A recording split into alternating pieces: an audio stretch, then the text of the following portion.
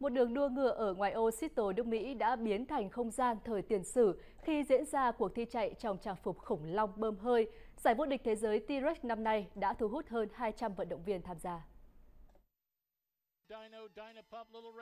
Các vận động viên ở mọi lứa tuổi đã tham gia cuộc đua vô địch thế giới khủng long T-Rex thường niên với cự ly chạy 100 m. Một đám đông gồm hơn 5.000 người đã có mặt để chiêm ngưỡng và cổ vũ cho các vận động viên dáng vẻ ngộ nghĩnh và những bước chạy đáng yêu của các thí sinh trong trang phục khủng long đã mang đến cho khán giả niềm vui và sự thích thú. Nhiều vận động viên tham gia cuộc đua chia sẻ rằng họ tham gia chạy đua theo cách này để giảm stress và thư giãn. Vận động viên thi đấu có tên Dino Gige đã mang về cúp giành chiến thắng cho hạng mục trẻ em từ 11 tuổi trở xuống.